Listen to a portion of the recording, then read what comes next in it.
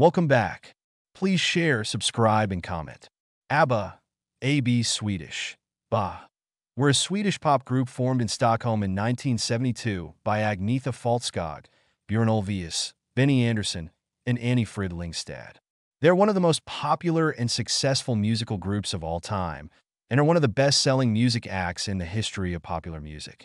In 1974, ABBA were Sweden's first winner of the Eurovision Song Contest with the song Waterloo, which in 2005 was chosen as the best song in the competition's history as part of the 50th anniversary celebration of the contest. During the band's main active years, it consisted of two married couples, Faltskog and Ulvaeus, and Lyngstad and Andersson.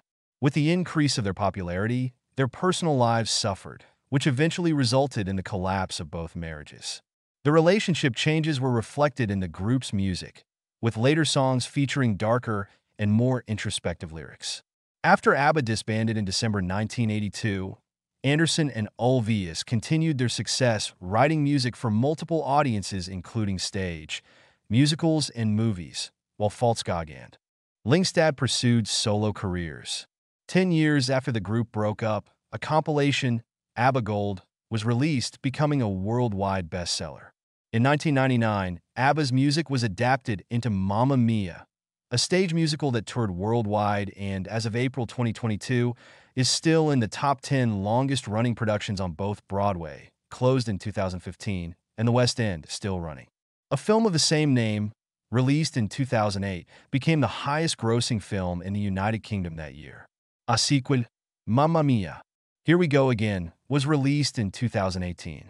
ABBA are among the best-selling music artists in history, with record sales estimated to be between 150 million to 385 million sold worldwide, and the group were ranked third best-selling singles artists in the United Kingdom with a total of 11.3 million singles sold by November 3, 2012. In May 2023, ABBA were awarded the Brit Billion Award, which celebrates those who have surpassed the milestone of 1 billion UK streams in their career. ABBA were the first group from a non-English speaking country to achieve consistent success in the charts of English-speaking countries, including the United Kingdom, Australia, United States, Republic of Ireland, Canada, New Zealand, and South Africa. They are the best-selling Swedish band of all time and the best-selling band originating in continental Europe. ABBA had eight consecutive number one albums in the UK, the group also enjoyed significant success in Latin America and recorded a collection of their hit songs in Spanish. ABBA were inducted into the Vocal Group Hall of Fame in 2002. The group were inducted into the Rock and Roll Hall of Fame in 2010, the first recording artist to receive this honor from outside an Anglophonic country. In 2015, their song Dancing Queen was inducted into the Recording Academy's Grammy Hall of Fame. In 2024, the United States Library of Congress included the album Arrival, 1976, in the National Recording Registry, which recognizes works worthy of preservation for all time based on their cultural, historical, or aesthetic importance in the nation's recorded sound heritage. In 2016, the group reunited and started working on a digital avatar concert tour. Newly recorded songs were announced in 2018. Voyage, their first new album in 40 years, was released on November 5th, 2021 to positive critical reviews and strong sales in numerous countries. ABBA Voyage, a concert residency featuring ABBA as virtual avatars, opened in May 2022 in London. History 1958 to 1970. Before ABBA member origins and collaboration Agnetha Faltskog, born April 5, 1950 in Jönköping, Sweden, sang with a local dance band, headed by Bernt Enghardt, who sent a demo recording of their music to Carl Gerhard Lundqvist. The demo tape featured a song written and sung by Agnetha. Jag Varis Car, I was so in love. Lundqvist was so impressed with her voice that he was convinced she would be a star. After going through considerable effort to locate the singer, he arranged for Agnetha to come to Stockholm and to record two of her own songs. This led to Agnetha at the age of 18 having a number one record in Sweden with a self-composed song, which later went on to sell over 80,000 copies. She was soon noticed by the critics and songwriters as a talented singer-songwriter of Schlager-style songs. Faltskog's main inspiration in her early years was singers such as Connie Francis. Along with her own compositions, she recorded covers of foreign hits and performed them on tours in Swedish folk parks. Most of her biggest hits were self-composed, which was quite unusual for a female singer in the 1960s. Agnetha released four solo LPs between 1968 and 1971. She had many successful singles in the Swedish charts. Björn Ulvaeus, born April 25, 1945 in Gothenburg, Sweden, also began his musical career at the age of 18 as a singer and guitarist when he fronted the Hootenanny Singers, a popular Swedish folk skiffle group. Ulvaeus started writing English-language songs for his group and even had a brief solo career alongside. The Hootenanny Singers and the Hep Stars sometimes crossed paths while touring. In June 1966, Ulvaeus and Andersson decided to write a song together. Their first attempt was Isn't It Easy to Say, a song that was later recorded by the Hep Stars. Stig Andersson was the manager of the Hootenanny Singers and founder of the Polar Music label. He saw potential in the collaboration and encouraged them to write more. The two also began playing occasionally with the others' bands on stage and on record, although it was not until 1969 that the pair wrote and produced some of their first real hits together. Ljuvis Sextital Sweet 60s, recorded by Brita Borg and the Hep Stars' 1969 hit Spielman Fiddler. Benny Andersson, born December 16, 1946 in Stockholm, Sweden, became, at age 18, a member of a popular Swedish pop rock group, the Hep Stars, that performed, among other things, covers of international hits. The Hep Stars were known as the Swedish Beatles. They also set up Hep House, their equivalent of Apple Corps. Andersson played the keyboard and eventually started writing original songs for his band, many of which became major hits including No Response, which hit number three in 1965, and Sunny Girl, Wedding, and Consolation, all of which hit number one in 1966. Andersson also had a fruitful songwriting collaboration with Lasse Berghagen, with whom he wrote his first Svensktoppen entry, Sagan Om Lilla Sophie, The Tale of Little Sophie, in 1968. Andersson wrote and submitted the song Hedge, Clown for Melodifestival in 1969, the national festival to select the Swedish entry to the Eurovision Song Contest. The song tied for first place, but re-voting relegated Andersson's song to second place. On that occasion, Andersson briefly met his future spouse, singer Anni-Frid Lyngstad, who also participated in the contest. A month later, the two had become a couple. As their respective bands began to break up during 1969, Andersson and Ulvaeus teamed up and recorded their first album together in 1970, called Lycka, Happiness, which included original songs sung by both men. Their partners were often present in the recording studio and sometimes added backing vocals. Faltskog even co-wrote a song with the two. Ulvaeus still occasionally recorded and performed with the Hootenanny Singers until the middle of 1974, and Andersson took part in producing their records. Anni-Frid Frida Lyngstad, born November 15th, 1945 in Jorkasen in Ballangen Municipality, Norway. Sang from the age of 13 with various dance bands and worked mainly in a jazz-oriented cabaret style. She also formed her own band, the Anni-Frid Four.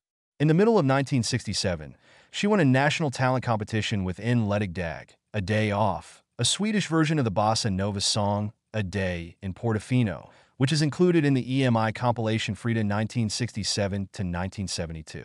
The first prize was a recording contract with EMI Sweden and to perform live on the most popular TV shows in the country. This TV performance, among many others, is included in the 3 plus a half hour documentary Frida, the DVD. Lyngstad released several Schlager-style singles on EMI with mixed success. When Benny Andersson started to produce her recordings in 1971, she had her first number one single, Min Egen Stad, My Own Town, written by Benny and featuring all the future ABBA members on backing vocals. Lyngstad toured and performed regularly in the folk park circuit and made appearances on radio and TV. She had a second number one single with Manville Jew Level Light Decimelen in late 1972. She had met Ulvaeus briefly in 1963 during a talent contest and Faltskog during a TV show in early 1968. Lyngstad linked up with her future bandmates in 1969. On March 1, 1969, she participated in the Melody Festival, where she met Andersson for the first time. A few weeks later, they met again during a concert tour in southern Sweden, and they soon became a couple.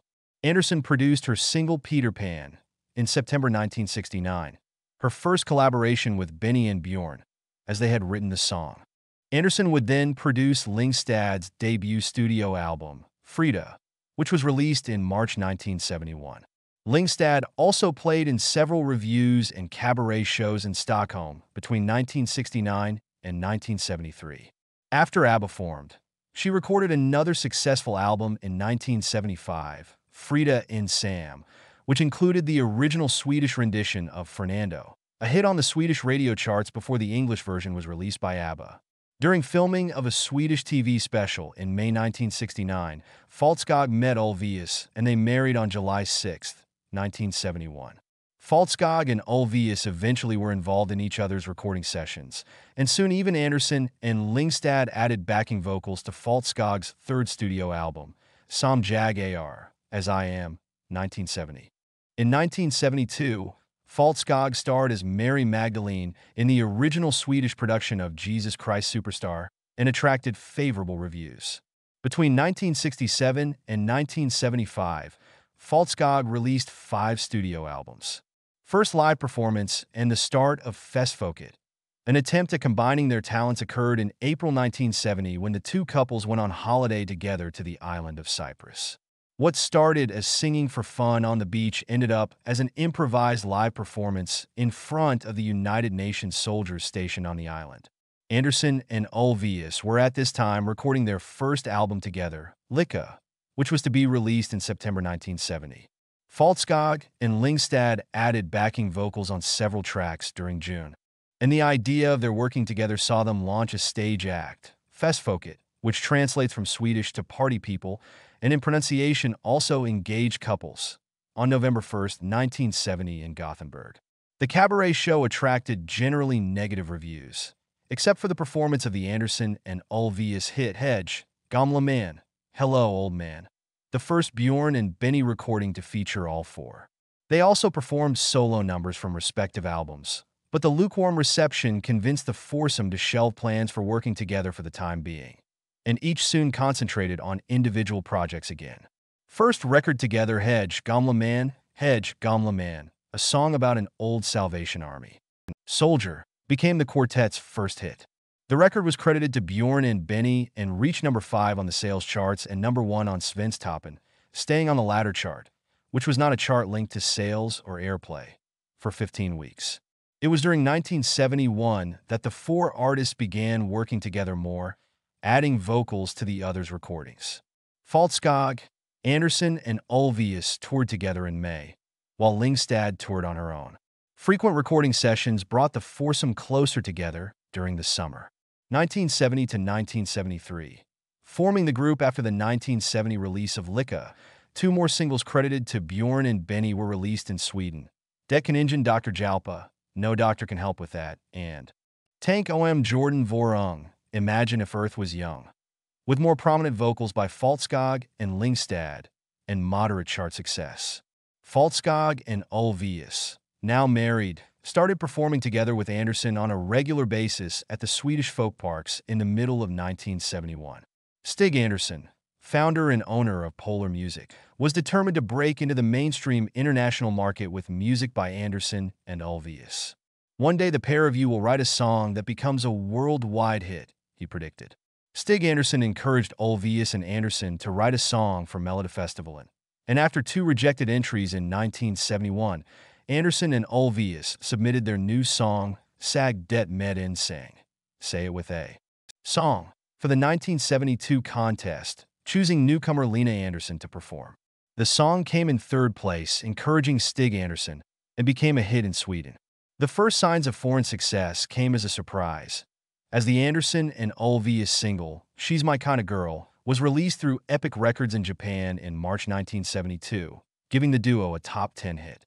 Two more singles were released in Japan, In Carousel, In Carousel in Scandinavia, an earlier version of Merry Go Round, and Love Has Its Ways, a song they wrote with Koichi Morita.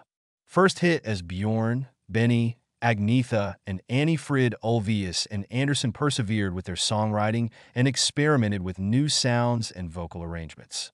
People Need Love was released in June 1972, featuring guest vocals by the women, who were now given much greater prominence. Stig Anderson released it as a single, credited to Bjorn and Benny, Agnetha, and Anni-Frid. The song peaked at number 17 in the Swedish combined single and album charts, enough to convince them they were onto something. People Need Love also became the first record to chart for the quartet in the United States, where it peaked at number 114 on the Cashbox Singles Chart and number 117 on the Record World Singles Chart. Labeled as Bjorn and Benny with Svenska Flicka, meaning Swedish girl, it was released there through Playboy Records. According to Stig Andersson, People Need Love could have been a much bigger American hit, but a small label like Playboy Records did not have the distribution resources to meet the demand for the single from retailers and radio programmers. Ring Ring in 1973, the band and their manager Stig Andersson decided to have another try at Melodifestivalen, this time with the song Ring Ring. The studio sessions were handled by Michael B. Tretow, who experimented with a wall of sound production technique that became a distinctive new sound thereafter associated with ABBA. Stig Anderson arranged an English translation of the lyrics by Neil Sedaka and Phil Cody, and they thought this would be a success. However, on February 10, 1973, the song came third in Melodifestivalen. Thus, it never reached the Eurovision Song Contest itself. Nevertheless, the group released their debut studio album, also called Ring Ring. The album did well, and the Ring Ring single was a hit in many parts of Europe and also in South Africa. However, Stig Anderson felt that the true breakthrough could only come with a UK or US hit. When Agnetha Fältskog gave birth to her daughter Linda in 1973, she was replaced for a short period by Inger Brundin on a trip to West Germany. Official naming in 1973, Stig Anderson, tired of unwieldy names, started to refer to the group privately and publicly as ABBA, a palindrome. At first, this was a play on words, as ABBA is also the name of a well-known fish canning company in Sweden, in itself an abbreviation. However, since the fish canners were unknown outside Sweden, Anderson came to believe the name would work in international markets. A competition to find a suitable name for the group was held in a Gothenburg newspaper, and it was officially announced in the summer that the group were to be known as ABBA. The group negotiated with the Canners for the rights to the name. Fred Bronson reported for Billboard that Fältskog told him in a 1988 interview that ABBA had to ask permission, and the factory said, okay, as long as you don't make us feel ashamed for what you're doing. ABBA is an acronym formed from the first letters of each group member's first name Agnetha, Bjorn, Benny, Anni-Frid, although there has never been any official confirmation of who each letter in the sequence refers to. The earliest known example of ABBA written on paper is on a recording session sheet from the Metronome Studio in Stockholm dated October 16, 1973. This was first written as Bjorn, Benny, Agnetha, and Frida, but was subsequently crossed out with ABBA written in large letters on top. Official logo Their official logo, with its distinctive backward B, was designed by Rune Soderqvist, who designed most of ABBA's record sleeves. The ambigram first appeared on the French compilation album, Golden Double Album, released in May 1976 by Disques Vogue, and would henceforth be used for all official releases. The idea for the official logo was made by the German photographer Wolfgang Bübi Heilmann on a velvet jumpsuit photo shoot for the teenage magazine Bravo. In the photo, the ABBA members held giant initial letters of their names. After the pictures were made, Heilmann found out that Benny Andersson reversed his letter B. This prompted discussions about the mirrored B, and the members of ABBA agreed on the mirrored letter. From 1976 onward, the first B in the logo version of the name was Mirror Image, reversed on the band's promotional material. Following their acquisition of the group's catalog, Polygram began using variations of the ABBA logo, employing a different font. In 1992, Polygram added a crown emblem to it for the first release of the ABBA Gold Greatest Hits compilation. After Universal Music purchased Polygram, and thus ABBA's label Polar Music International, control of the group's catalog returned to Stockholm. Since then, the original logo has been reinstated on all official products. 1973 to 1976. Breakthrough Eurovision Song Contest 1974 ABBA entered the Melodifestivalen with Ring Ring, but did not qualify as the 1973 Swedish entry. Stig Andersson started planning for the 1974 contest. Ulvaeus, Anderson, and Stig Anderson saw possibilities in using the Eurovision Song Contest to make the music business aware of them as songwriters, as well as to publicize the band. In late 1973, they were invited by Swedish television to contribute a song for the Melodifestivalen in 1974, and the upbeat song Waterloo was chosen. The group were now inspired by the growing glam rock scene in England. With this third attempt, ABBA were more experienced and better prepared for the Eurovision Song Contest, and they won the nation's hearts on Swedish television on February 9, 1974 winning the 1974 Eurovision Song Contest on April 6, 1974, and singing Waterloo in English instead of their native language, gave them the chance to tour Europe and perform on major television shows, as a result of which the Waterloo single charted in many European countries. After winning the contest, ABBA spent an evening of glory partying in the appropriately named first floor Napoleon suite of the Grand Brighton Hotel. Waterloo was ABBA's first major hit, and their first number one single in nine. Western and Northern European countries, including the major markets of the UK and West Germany, and in South Africa. It made the top 10 in other countries, rising to number 3 in Spain, number 4 in Australia and France, and number 7 in Canada. In the United States, the song peaked at number 6 on the Billboard Hot 100 chart, paving the way for their first album and their first trip to the US as a group. Although only a short promotional visit, this included their first performance on American television, on The Mike Douglas Show. The Waterloo album peaked at only number 145 on the Billboard 200 chart, but received unanimous praise from U.S. critics. The Los Angeles Times said the album was a compelling and fascinating debut album that captured the spirit of mainstream pop and described it as immensely enjoyable and pleasant, while Creem said it was a perfect blend of exceptional, lovable compositions. ABBA's follow up single, Honey Honey, peaked at number 27 on the US Billboard Hot 100, reached the top 20 in several other countries, and was a number two hit in West Germany, although it only reached the top 30 in Australia and the US. In the UK, ABBA's British record label, Epic, decided to re release a remixed version of Ring Ring instead of Honey Honey. A cover version of Honey Honey by Sweet Dreams peaked at number 10, and both records debuted on the UK chart within a week of each other.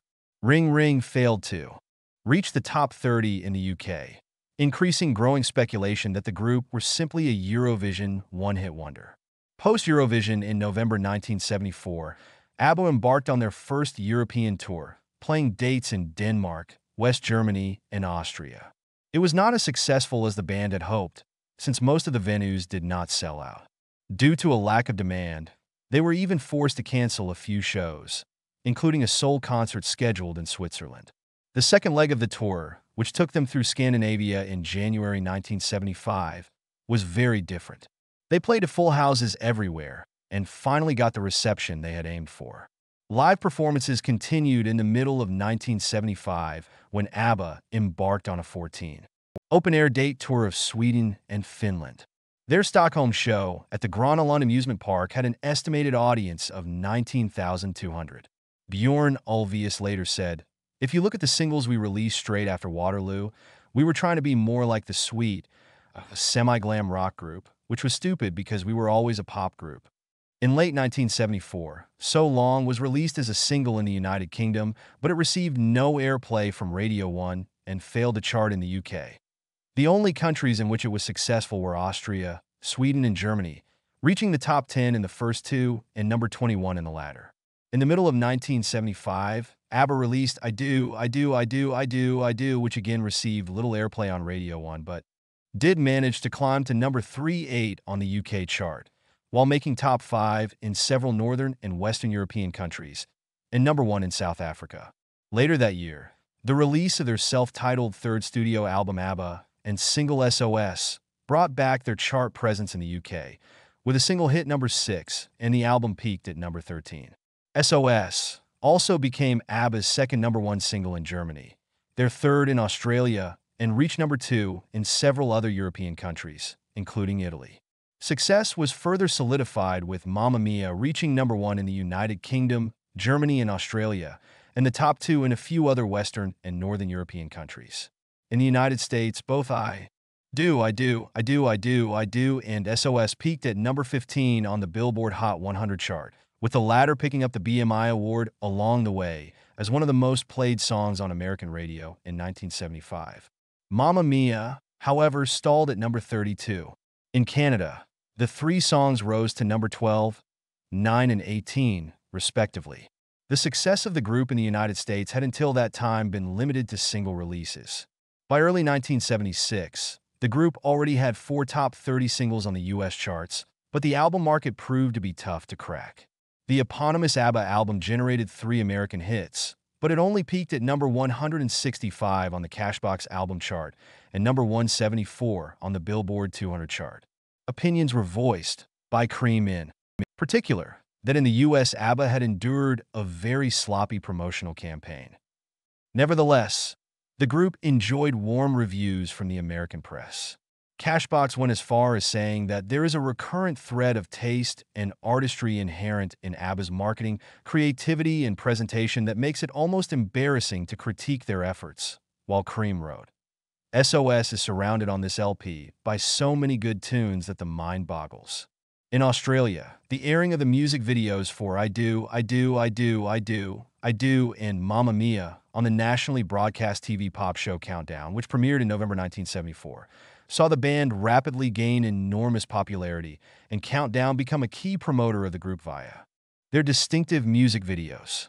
This started an immense interest for ABBA in Australia, resulting in I Do, I Do, I Do, I Do, I Do staying at number one for three weeks, then SOS spending a week there, followed by Mamma Mia staying there for 10 weeks, and the album holding down the number one position for months.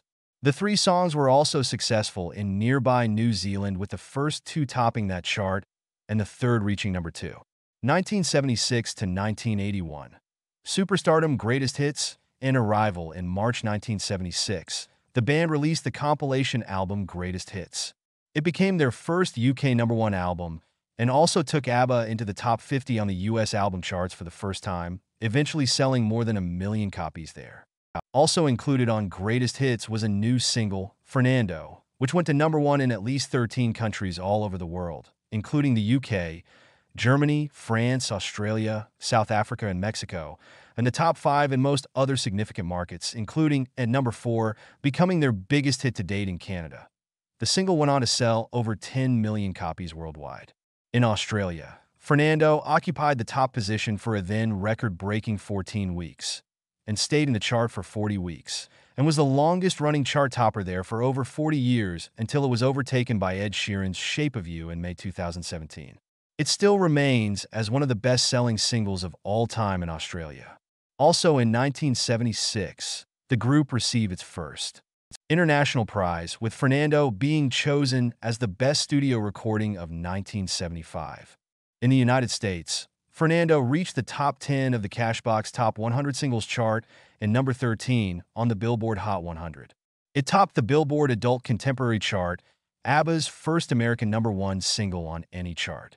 At the same time, a compilation named The Very Best of ABBA was released in Germany, becoming a number one album there, whereas the Greatest Hits compilation, which followed a few months later, ascended to number two in Germany, despite all similarities with the very best album. The group's fourth studio album, Arrival, a number one bestseller in parts of Europe, the UK, and Australia, and a number three hit in Canada and Japan, represented a new level of accomplishment in both songwriting and studio work, prompting rave reviews from more rock oriented UK music weeklies, such as Melody Maker and New Musical Express, and mostly appreciative notices from US critics. Hit after hit flowed from Arrival. Money, Money, Money, another number one in Germany, France, Australia, and other countries of Western and Northern Europe, plus number three in the UK. And Knowing Me, Knowing You, ABBA's sixth consecutive German number one, as well as another UK number one, plus a top five hit in many other countries although it was only a number 9 hit in Australia and France. The real sensation was the first single, Dancing Queen, not only topping the charts in loyal markets like the UK, Germany, Sweden, several other Western and Northern European countries, and Australia, but also reaching number one in the United States, Canada, the Soviet Union, and Japan, and the top 10 in France, Spain, and Italy. All three songs were number one hits in Mexico. In South Africa, ABBA had astounding success with each of Fernando, Dancing Queen, and Knowing Me, Knowing You being among the top 20 best-selling singles for 1976 to 77. In 1977, Arrival was nominated for the inaugural Brit Award in the category Best International Album of the Year. By this time, ABBA were popular in the UK, most of Europe, Australia, New Zealand, and Canada. In Frida, the DVD Lyngstad explains how she and Fältskog developed as singers, as ABBA's recordings grew more complex over the years. The band's mainstream popularity in the United States would remain on a comparatively smaller scale, and Dancing Queen became the only Billboard Hot 100 number one single for ABBA, though it immediately became, and remains to this day, a major gay anthem, with Knowing Me, Knowing You later peaking at number 7. Money, Money, Money, however, had barely charted there or in Canada, where Knowing Me, Knowing You had reached number 5. They did, however, get three more singles to the number one position on other Billboard US charts, including Billboard Adult Contemporary and Hot Dance Club Play. Nevertheless, Arrival finally became a true breakthrough release for ABBA on the US album market, where it peaked at number 20 on the Billboard 200 chart and was certified gold by RIA. European and Australian tour in January 1977. ABBA embarked on their first major tour. The group's status had changed dramatically, and they were clearly regarded as superstars. They opened their much anticipated tour in Oslo, Norway, on January 28th, and mounted a lavishly produced spectacle that included a few scenes from their self-written mini operetta The Girl with the Golden Hair. The concert attracted huge media attention from across Europe and Australia. They continued the tour through Western Europe, visiting Gothenburg, Copenhagen, Berlin, Cologne, Amsterdam, Antwerp, Essen, Hanover, and Hamburg, and ending with shows in the United Kingdom in Manchester, Birmingham, Glasgow, and two sold-out concerts at London's Royal Albert Hall. Tickets for these two shows were available only by mail application, and it was later revealed that the box office received 3.5 million requests for tickets, enough to fill the venue 580 times. Along with praise, ABBA turned out to be amazingly successful at reproducing their records, wrote Creem. There were complaints that ABBA performed slickly, but with a zero personality coming across from a total of 16 people on stage, Melody Maker. One of the Royal Albert Hall concerts was filmed as a reference for the filming of the Australian tour for what became ABBA. The movie, though it is not exactly known how much of the concert was filmed. After the European leg of the tour, in March 1977, ABBA played 11 dates in Australia before a total of 160,000 people. The opening concert in Sydney, at the Sydney Showground on March 3rd, to an audience of 20,000 was marred by torrential rain, with Lyngstad slipping on the wet stage during the concert. However, all four members would later recall this concert as the most memorable of their career. Upon their arrival in Melbourne, a civic reception was held at the Melbourne Town Hall, and ABBA appeared on the balcony to greet an enthusiastic crowd of 6,000. In Melbourne, the group gave three concerts at the Sydney Myer Music Bowl with 14,500, at each including the Australian Prime Minister Malcolm Fraser and his family. At the first Melbourne concert, an additional 16,000 people gathered outside the fenced-off area to listen to the concert. In Adelaide, the group performed one concert at Football Park in front of 20,000 people, with another 10,000 listening outside. During the first of five concerts in Perth, there was a bomb scare with everyone having to evacuate the entertainment center. The trip was accompanied by mass hysteria and unprecedented media attention. Swedish ABBA stirs box office and Down Under tour, and the media coverage of the quartet rivals that's set to cover the upcoming Royal Tour of Australia, wrote Variety, and is captured on film in ABBA. The movie, directed by Lasse Hallström, the Australian tour and its subsequent ABBA. The movie produced some ABBA lore as well. Fältskog's blonde good looks had long made her the band's pin-up girl, a role she disdained. During the Australian tour, she performed in a skin-tight white jumpsuit, causing one Australian newspaper to use the headline, Agnetha's Bottom Tops Dull Show. When asked about this at a news conference, she replied, Don't they have bottoms in Australia? ABBA. The album in December 1977, ABBA followed up Arrival with a more ambitious fifth album, ABBA. The album, released to coincide with the debut of ABBA.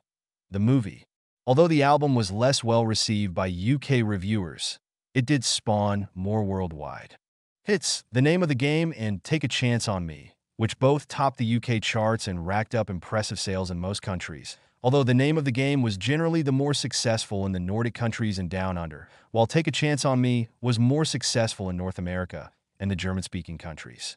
The Name of the Game was a number two hit in the Netherlands, Belgium, and Sweden, while also making the top five in Finland, Norway, New Zealand, and Australia, while only peaking at numbers 10, 12, and 15 in Mexico, the US, and Canada.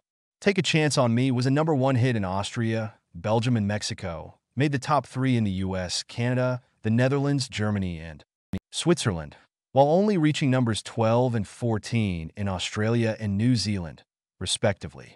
Both songs were top 10 hits in countries as far afield as Rhodesia and South Africa, as well as in France. Although Take a Chance on Me did not top the American charts, it proved to be ABBA's biggest hit single there selling more copies than Dancing Queen.